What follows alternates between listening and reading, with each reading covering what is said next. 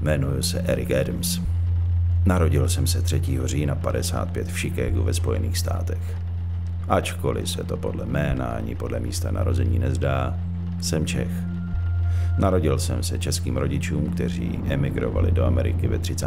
letech.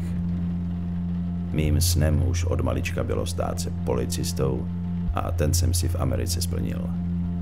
Během práce pro policii v Chicagu jsem poznal mnoho nových lidí a s nimi i moji budoucí ženu Danielu. Po pádu komunismu v Československu jsem se s Amerikou rozloučil a vrátil se se snoubenkou do Prahy, kde jsem nastoupil ke kriminální policii.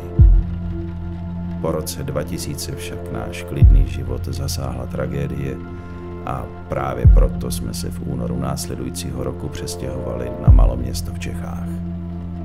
Tady jsem se přidal k místnímu policejnímu sboru. Život se zdál opět mnohem snesitelnější a věřil jsem tomu, že oproti práci na oddělení vražd to na tomhle venkově bude pohodička. Myslel jsem, že už mě nic nepřekvapí. Až do toho dne.